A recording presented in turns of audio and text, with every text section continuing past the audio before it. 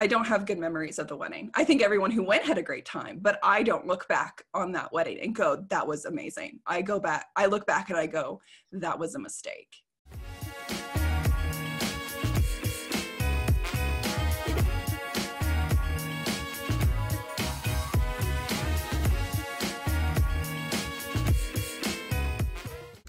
Welcome back to the Not Your Momma's History channel. My name is Cheyney, and today we're going to have a conversation with my close friend Abby Cox about her plantation wedding. Now, my experience with plantation weddings is I've never been to one. I've had a couple friends who've had plantation weddings and invited me, and I've declined.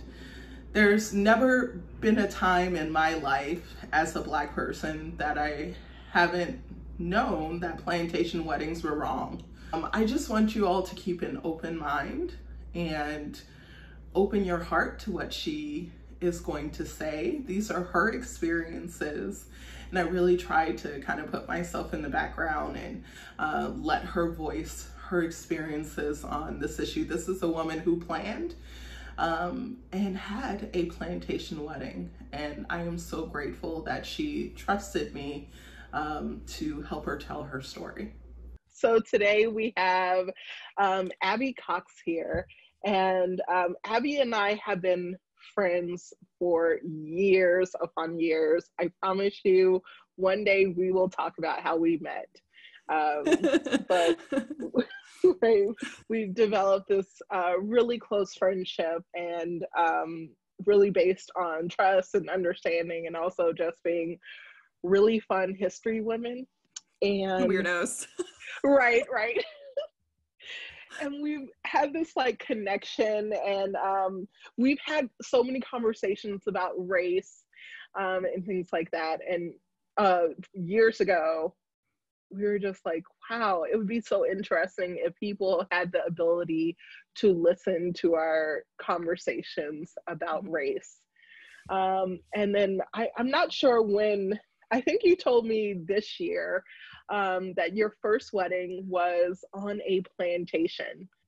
I, I was I was really shocked, but I, I mm-hmm. wasn't. Um, it, it's not. I know people who've had plantation weddings, so mm-hmm. um, it was not something like, "Don't ever talk to me again." well, and the way I told you about it too was also like, Cheyney, I have to tell you something that I'm ashamed of. oh my gosh. I thought she was going to tell me that she murdered somebody, but we have that type of friendship that I would help her hide the body. So I was like, oh crap. I gotta Don't worry. Hide the body. Don't worry, Fred from the FBI. I'm not a murderer. right, right, right. so serious, but we're mm-hmm. but um we're in this place as as a society where mm-hmm things are shifting and changing and we're having these conversations. Um, so i wanted to have a conversation with you about how it came about and um, mm-hmm. where it started. So um, i guess the very first question is um, how did the idea of a plantation wedding come about? Um, how did you find the plantation? Was it like on a site did you know from the very beginning when planning your mm-hmm. wedding that you would um, be doing a plantation wedding? I was I've been like reflecting a lot about my mind like my mental state like what i was trying to think of so for everyone listening this wedding happened on in 2013 so i started planning the wedding in 2012 um, my now ex-husband is not American. He's not from the United States. He's actually from Sweden. And we had half of the guest list was coming from Europe. I always knew I wanted a wedding and a historic home because I'm me. and I wasn't gonna have a wedding at like the Holiday Inn. um, it's like that's just me, and and I will say this wedding wasn't what I actually wanted in a wedding. What what I actually wanted in a wedding was was not this, but I made decisions about my wedding based off of the fact that half of my guest list was coming from a different country that I wanted them to see the United States outside of the normal tourist destinations. I wanted them to see the countryside. Um, and then also, my fiance at the time did not want to do a wedding in Indiana or Louisville, where I'm from. So it had to be in Virginia. You know, while I had very specific intentions, like I wanted somewhere that was inclusive, I wanted somewhere that was safe for them because I know how Swedes like to throw down with the booze. And I didn't want people driving, I wanted it to be very insular. So I was looking for a, a big bed and breakfast that I could keep the entire bridal party at. And but i also wanted it to be beautiful landscape beautiful scenery. I wanted it to be outdoors and obviously that just kind of goes hand in hand with a plantation home. And i love old homes. Like i just love old architecture. Um but i never thought about the fact that it had plantation in the name. Like you know it's just like Burf, like whatever. It just doesn't register. And and like talking to you and like having that conversation come up like that's obviously like my white privilege. The embarrassing part about this is that i worked at colonial williamsburg at the time. I interpreted slavery every day. You think you think i would know better? I didn't. I didn't. And like the thing is is like that's just that is very significant like that signifies like the amount of privilege. And i don't think anyone called me out on it. I don't think anyone anyone said anything to me about it. And it was also really inexpensive which is the thing as mm. well because i wasn't going to spend $20000 on a wedding i diy'd a lot of it myself and so the biggest expense was that venue and you know yeah, it's I don't have an excuse for it. I can tell you why I picked the location, but looking back, like I still just like why why did you you're an idiot. Like you know?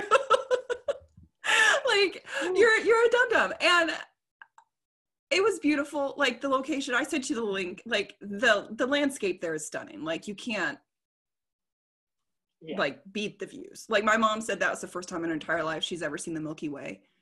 Um, so you know it's, it's one of those things like it's beautiful but the house itself is riddled with trauma um, and i overlooked it. No none of your family or friends was like huh. Mm-mm.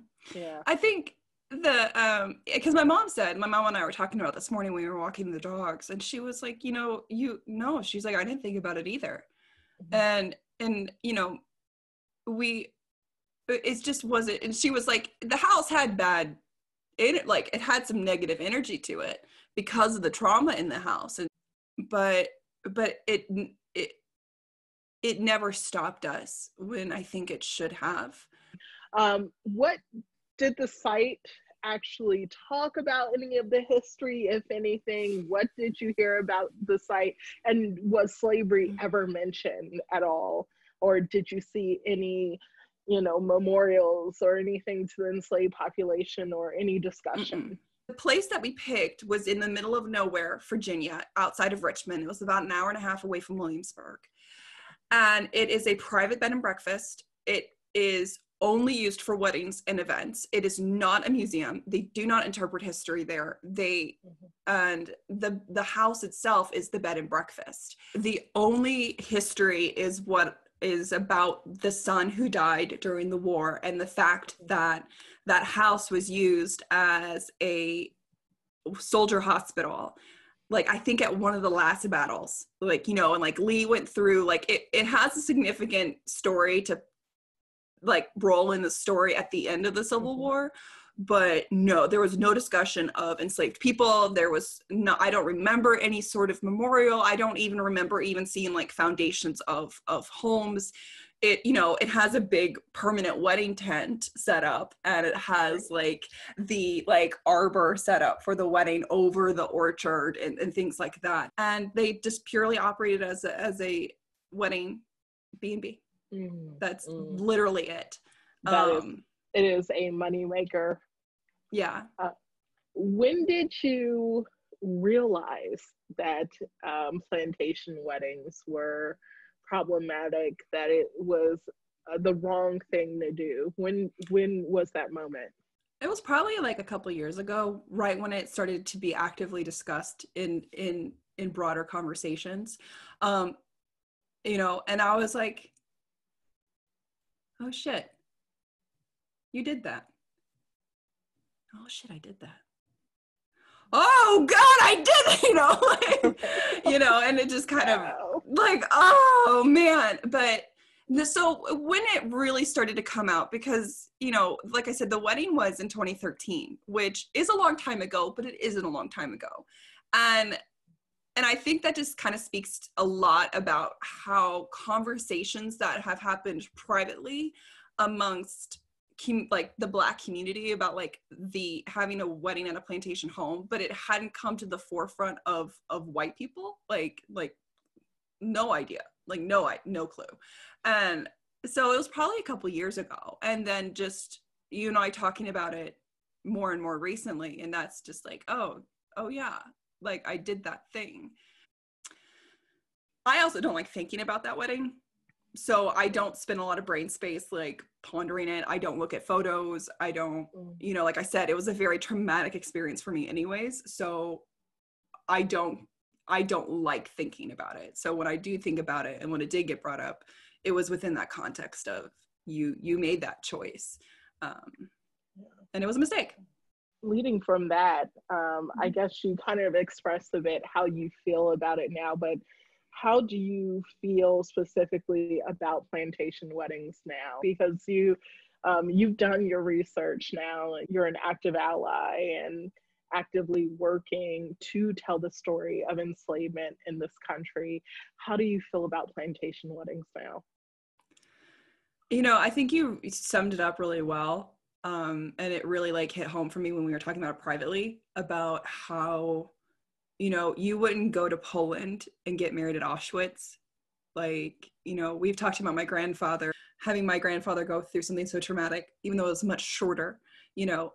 But I wouldn't want someone being like, oh yeah, I'm gonna go to this like German POW camp and like have a wedding because look at this like officer's home. It's so pretty. like, are you out of your mind? And, you know, and then like the insidious factor of we have the plantation home and then we have the enslaved people who are bound there and are forced to stay there you know so it's that juxtaposition of something so horrific and something so beautiful because these homes are beautiful. That's why like we talked about with 12 years a slave that's what makes it so painful is that to see such horror surrounded by such beauty it's so easy to be tempted by the beautiful plantation home think outside yourself for a minute. And I think that's what's hard for brides um, is you get so wrapped up in tunnel vision about one thing that you don't think outside of your your little ring box and but if you take a moment to get outside that box and you think about it from the bigger picture then that's when you're like you know what no this isn't okay why do you think people believe that having plantation weddings is appropriate? Like, um, I think that that's something that um, I struggled with in understanding. Um, I think it was actually really helpful to have people in my life that I love and care about who have made that choice to have a plantation wedding because it forced me to kind of uh, take a moment and look at a different perspective. Uh, wrong is wrong, but at the same time, we have to come to a point where we understand people. Um, and I, I, just, I just want to know, like, um, why do you think people believe that plantation weddings are appropriate? What? I mean, like from my from my perspective, from my experience, it it it's not that they're going, oh yes, people were enslaved here, perfect unless you're like a white supremacist and then like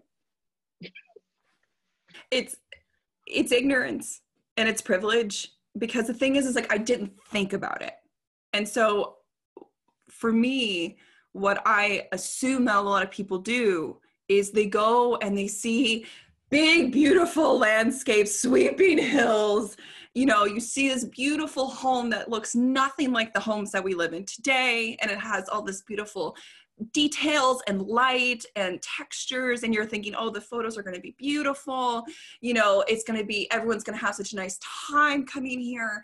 You know you don't think about the past you think about the house at that particular moment. You don't think about the history. The disconnect between the history of the place its current like existence. Mm-hmm. but then as a white person you don't have the connecting in between you know? And that's and that's just it. It is is because as a white person i would have never experienced that home in the same way you experienced that home. Like i didn't think about it that way. Because i didn't have to you know and i never would have had to. You don't have that knowledge and that empathy there because you you never were taught to think about those things in that way. And that's like what we're going through now right? As like white people is we're being, there's a reckoning happening with the like pull the curtain back. Do you see all of this? And then you go oh. Yeah. Oh crap.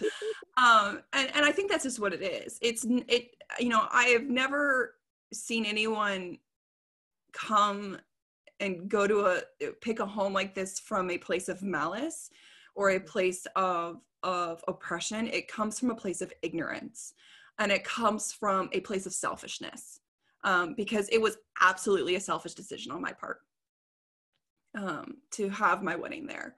It was it was it was selfish in that it's what I wanted. But if I wanted to have a safe space for all of the Swedes to to like party and have a throwdown of a wedding, I should have had it at a hotel. You know? Yeah. But I had the aesthetic.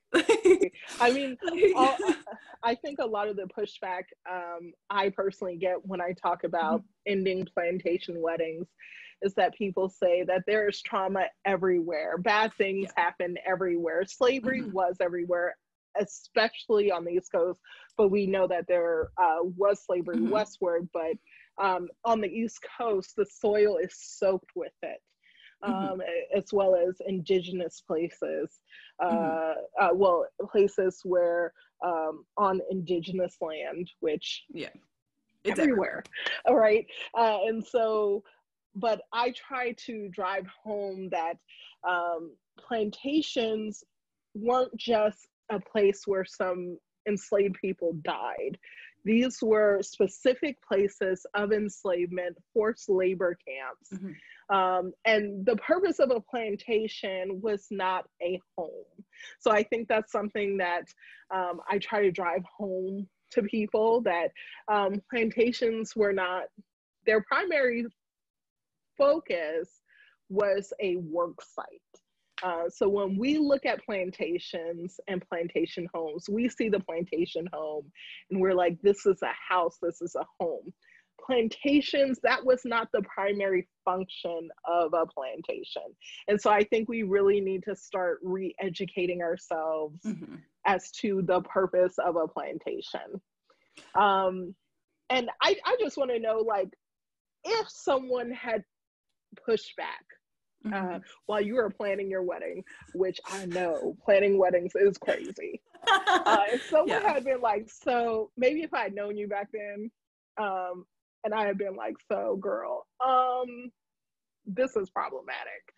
Um, what do you think that you would have done? How do you think you would have felt? Um, hypothetically. This is hard because obviously I've matured a lot since then. I've grown up a lot. Like I was in my mid 20s, mid to like like 26, 27, 28 then. Mm-hmm. I'm 34 now. And people grow and people change. I would like to think that well with you and our relationship because we've always had this relationship that if you said that to me I would have checked myself very quickly because of just the sheer fact from even a very selfish perspective i would have wanted you there. Like i would have wanted you there to celebrate with me. I would have wanted you in photos with me. I would have wanted to celebrate that with you eh, because you were so i'm gonna cry. You're so important to me. And the idea that I would like, and you, if you had gone, Abby, like, I can't go. I can't be there. I would have been like, fuck it, flip the table. I'm not doing it. You know, and I my response would have been different at certain points within the wedding planning. But like if you had said, Abby, you can't do that, like here's why. In the beginning, before I had even done anything, I would have been like, oh, oh, oh, oh, oh, oh God, oh no, what do I do? Katie, what do I do? like, you know, I would have been like, okay, like help me. Like, can you help me do this? You know, if you had the wedding was like early June. And so if you had come up to me like June 1st, I probably would have flipped the table and be like, I don't know, I did it. If you're going to a wedding at a plantation wedding or you get a invitation to a plantation wedding, what is the effective way of, of approaching the bride and groom about their plantation wedding? Like, what do you think is the most effective way? I think it depends on your relationship with the person. You know, it you know, are you like a second cousin who's just kind of like getting the I have to invite you because I'm required, you know. like, like, you know, it depends because the thing is is yeah, when you're a bride at that point in time, the mental the ability to like your spoons you know if you go into like the concept of spoons you don't got a lot of spoons at that point because all of your spoons are covered up in in in just you know your mother-in-law is doing this the father your father's doing this you have some aunt like four states away who's throwing a hissy fit that this fifth cousin wasn't invited because they're always invited to family stuff. How dare, her, you know? And you're just like, I just want to get married. and then you have like just the mental stress of getting married and like what that entails. That, yeah, if you're like a second or third cousin and you're not, or you're not close, like you're just, you just got like the required invitation you know i don't i don't know if it's really going to be an effective conversation. Like i i can say like i probably wouldn't go there. I would probably just be like right. You know because it's just that relationship. If you're close to the person you've got to get in there fast because i do think there's a window and it ties it to the deposit. Like if if she puts the deposit down for a $10,000 venue and she can't get the deposit back i mean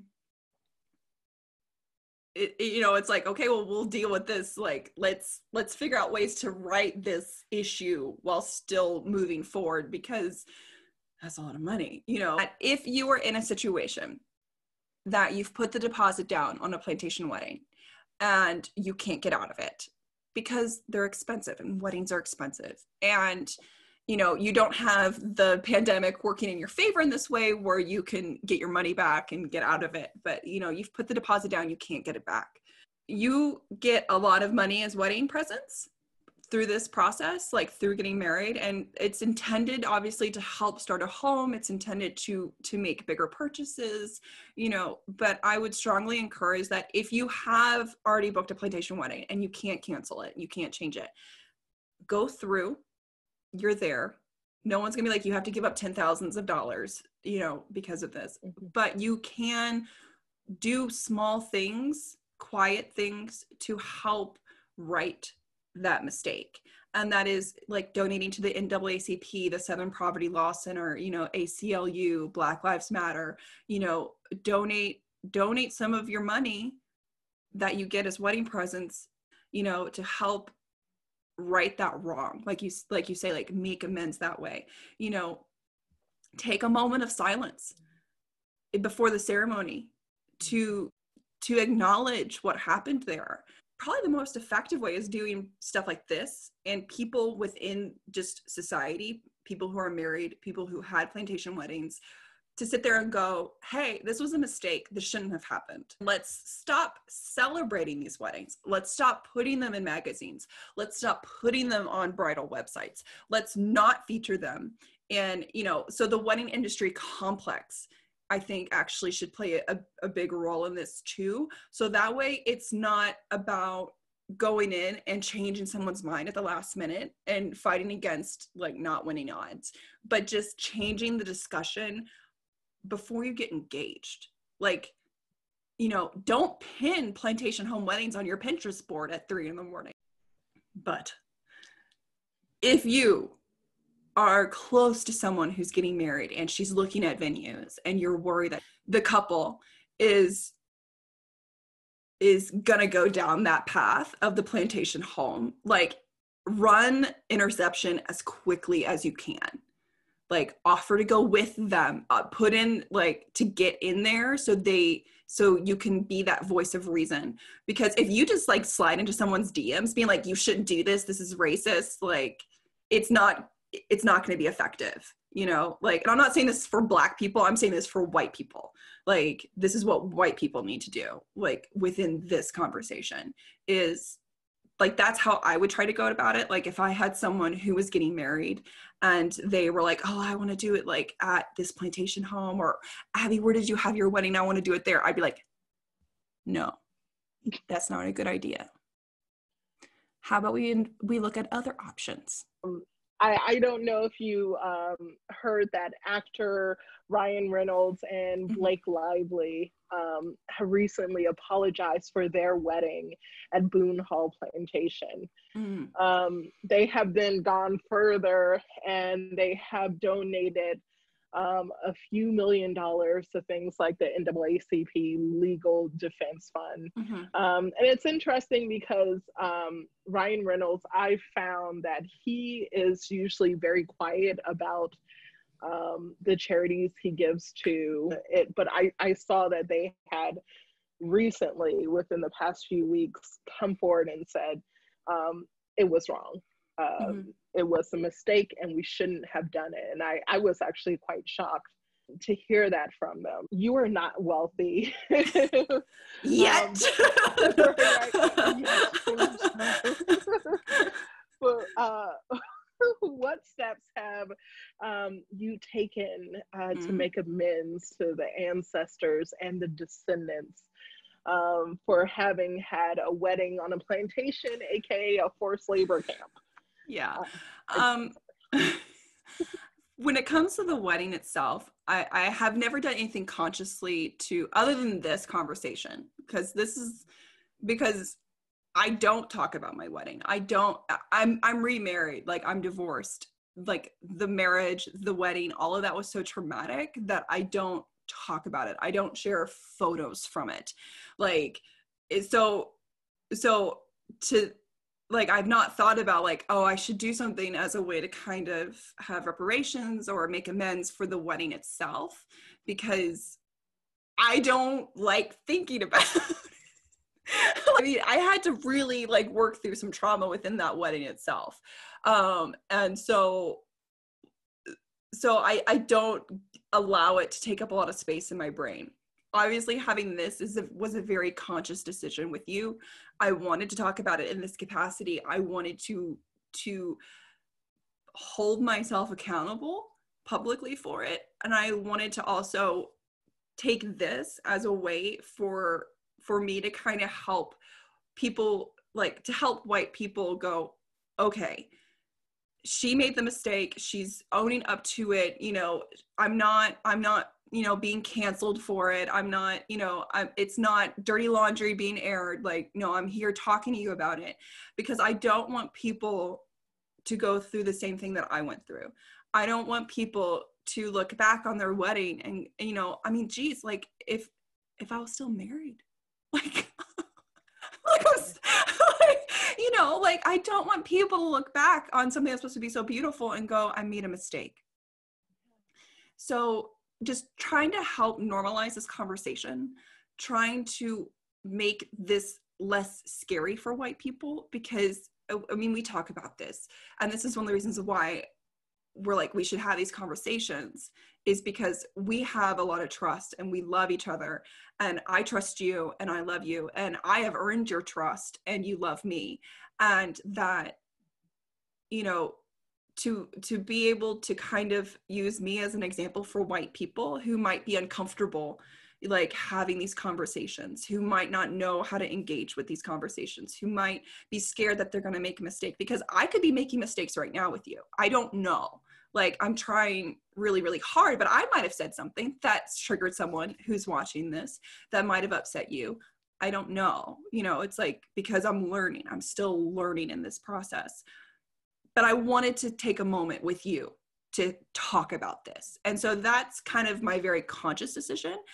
When it comes to my donations and my and my allyship i'm very private about that you know that. And i like because I, I, was thinking about that i was like i don't i don't like talking about what i do or or like where i donate to because i i think for white people right now it's a lot of people are doing very performative allyship and i didn't actually appreciate feeling like i had to be like look what i did look what i did look what i did look what i've done look what i've done you know because i'm like that's not why i do it.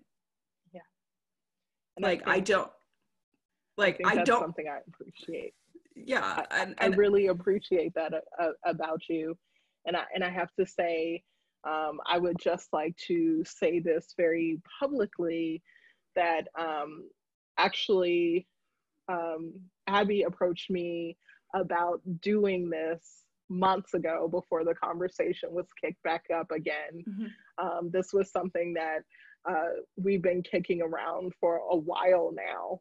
Um, and I would like to say that um, Abby is a real deal ally. Um, I think um, she she is not perfect. um, she puts her foot in it a lot. she says the wrong things, and sometimes she does the wrong things. Um, but I've never met someone just so genuine and willing at every pass to put her privileges um, aside in order to push people forward and get more voices in the room. I, I won't go into super duper detail, um, but I just I wanted to be known um, that you are a real collaborator and you are a real ally. And I stand by you. And I thank you for having this conversation and and speaking out because I know it cannot it cannot be comfortable, especially like airing um, mistakes, like mistakes that are just like right now. I mm-hmm. feel that um, the pitchforks have come out for like every, uh, and it, and it's kind of scary. Lastly, I just want to know like. I know you gave a lot of advice but like in a lovely package, what would be your advice to future brides and grooms thinking about plantation weddings? Like parting words, what what is your uh, advice? Hello. Screw the wedding industrial complex. It's nothing more than the capitalistic bullshit system. Get married in your backyard with your friends and eat some tacos. It's great. yeah, but we don't have to anymore, and they're not necessary anymore so hopefully hopefully uh, any bride who's listening to this who's or like potential bride she's thinking about it hopefully this has helped um, kind of shake that out. Absolutely. Um, abby thank you very much for having this conversation with me. Um, i really really appreciate your honesty um, and how open that how open you've been. Um, I think that there will be um, a few couples who will be able to take a lot from this, and I think they'll appreciate it. I hope so. I'm yeah. I mean, like, I hope so. And thank you for for having me on to do this. Like, I'm so I just love you. Here we go again. It starts. It just starts. Oh, right at the end of the conversation. It's like, Katie, I love you so much. um, but yeah, no, I hope that um, I hope that we're able to help and mm-hmm. that you know people who might feel white people who might feel uncomfortable or or ashamed or confused or defensive can see that it's like no hello this It'll is be okay. it's gonna be okay. Like everyone makes mistakes, and that's like you say, like that's a part of the growth. That's just human nature. Like everyone's gonna make mistakes. Everyone grows. Everyone changes. We all have posts on Facebook, Cheyney, that none of us are proud.